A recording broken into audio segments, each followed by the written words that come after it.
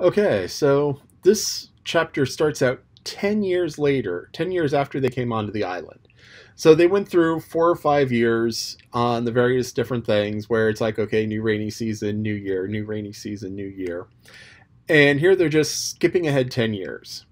So the youngest child is now 17, the oldest is 24. And when Fritz, the oldest, went out on his own exploring, he found a rag with a note tied to the leg of an albatross. Now, an albatross is a big, big bird. You know, I discussed this in Moby Dick. These things are huge. And they travel over great distances of ocean. So, this is a relatively good bird to tie a message to. And whoever it was is lucky that Fritz found it. Um, hopefully, he'll find her. But uh, we'll see about that in the next chapter. But um, the father decided that Fritz was going to go off on this search and that it wasn't right to warn every to tell everyone about it to get their hopes up because this is a long shot. She might not be on the same island, she might not be even on a close island because you know, as I said, albatrosses they cover thousands and thousands of miles. So I mean, this woman could be anywhere in the ocean.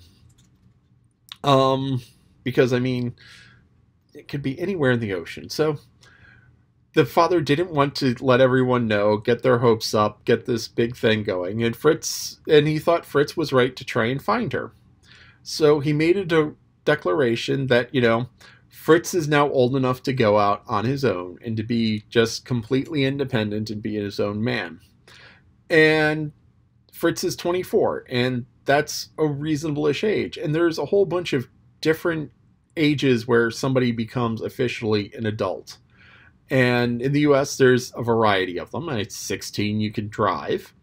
18, you can sign contracts. 21, you can drink alcohol. At 25, you can um, your insurance rates go down, and it's easier to get a car and buy a car and things like that. 26, you can stay you can stay on your parents' insurance until you're 26 years old. Uh, at least at the time of this, when you get to be 26, that may not be the rule anymore.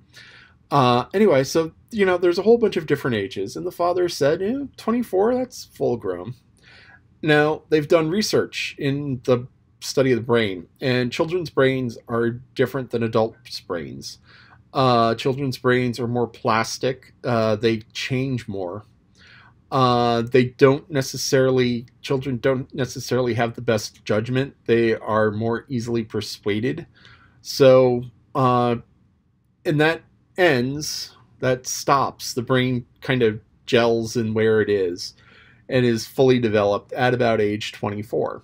So that's just that's the number that I've read. So, you know, there have been a whole bunch of people who say no, adulthood shouldn't really be 21 or 18. It's like no, you should push it even further because 21 year olds, 22 year olds are still doing really stupid things. Um, and so, actually, with the brain development, there's this weird sort of plateau around 12 where kids get really seriously logical, but they don't necessarily still have the best judgment. They're still easily persuadable. For around 12, they have this really good judgment, and then it just like gets worse for a little while and then finally gets better. And then around 24 it plateaus, but there's this weird sort of plateau at, at 12 where 12 year olds are more responsible than 16 year olds. But I'm not saying that I would let a 12 year old drive a car because, you know, well, maybe slowly in the parking lot. But uh, so they go out and they find oysters. Now, uh, I grew up in Maryland.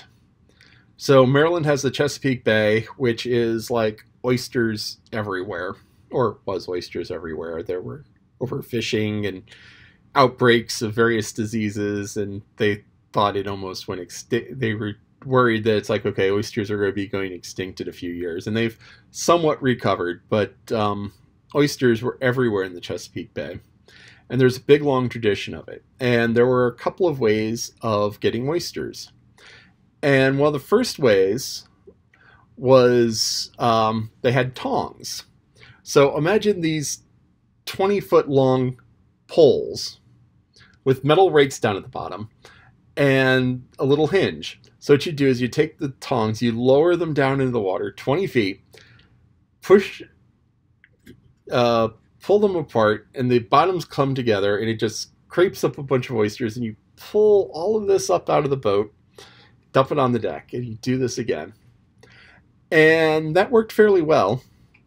And then in the 1800s, they come up with came up with dredges and those started out in New England. And uh, the way the dredge worked was it was a bag with these uh, teeth, and you would pull the boat. The boat would pull this along the bottom. It'd scrape up along the bottom, and just pull all of the oysters in the net.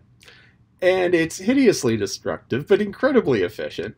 And that's one of the things that happened to a lot of the one of the reasons why the oysters went away.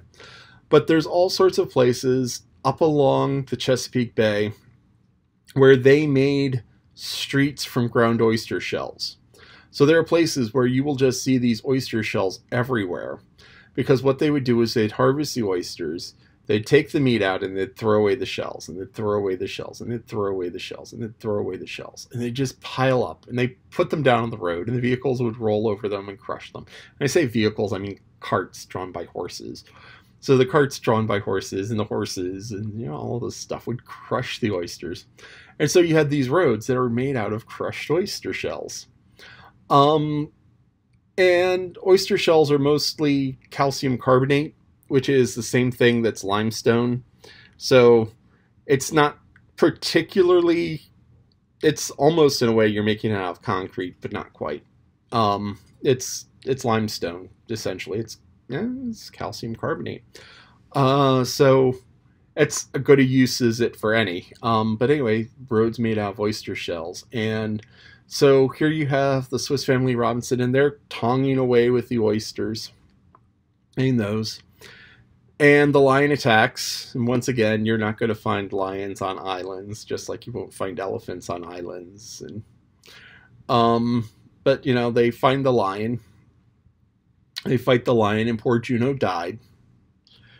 And you know, it's sad that the dog died, but you know, the dog died saving them, which is a very important thing because, you know, the dog, well, the dog was getting old. I mean, think about it. Dogs 15, 20 years.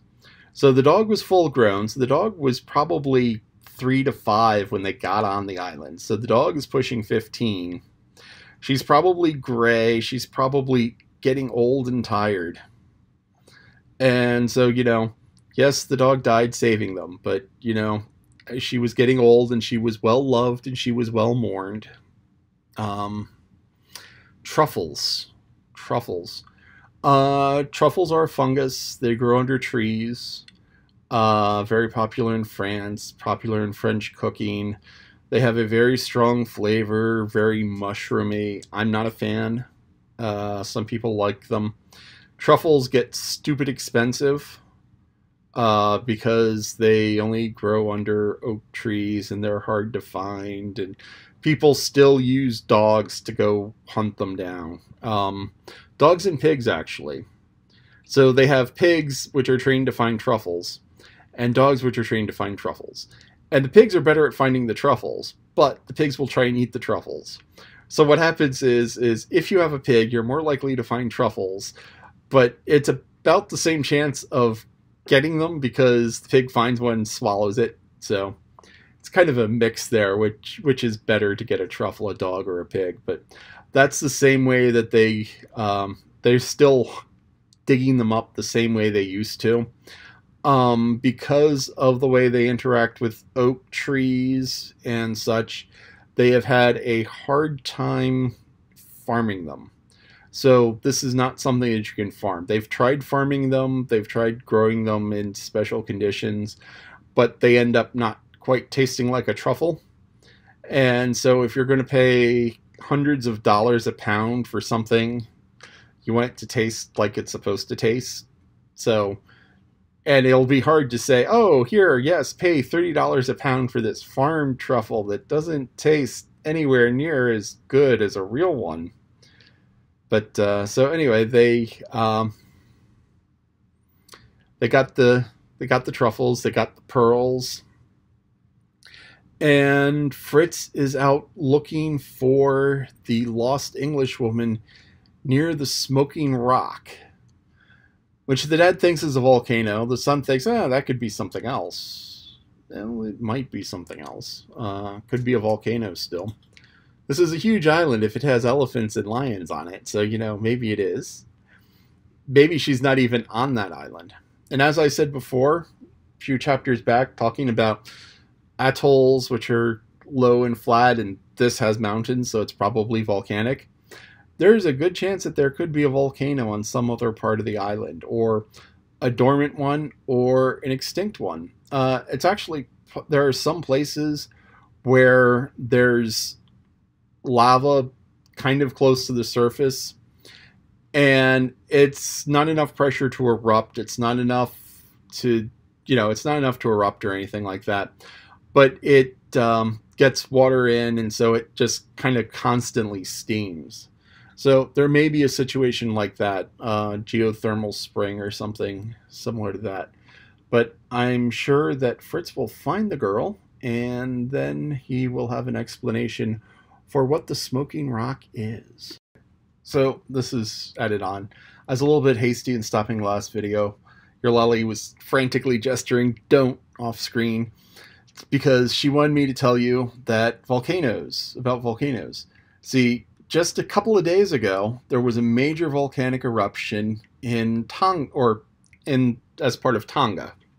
Tonga is a set of islands in the South Pacific, and it's on the Ring of Fire. So, the Ring of Fire is a chain of uh, fault lines that circle the entire Pacific, and there's a lot of earthquakes and volcan vol volcanoes and things like that associated with it.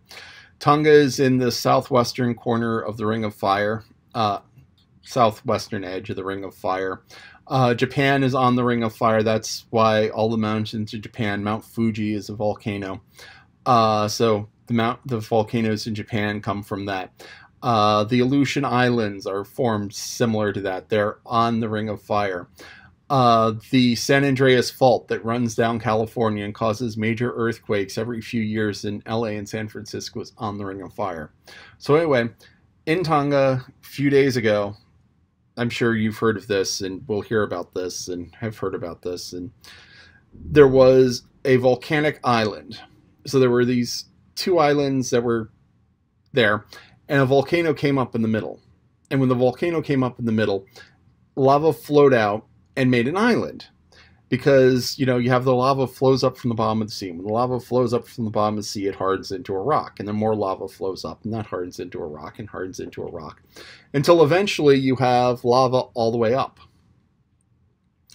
And with the lava all the way up, you know you have lava all the way up, and then once it breaks the top, you have an island, just like the Crusoe, Robinson Crusoe, or the Swiss Family Robinson were on their island.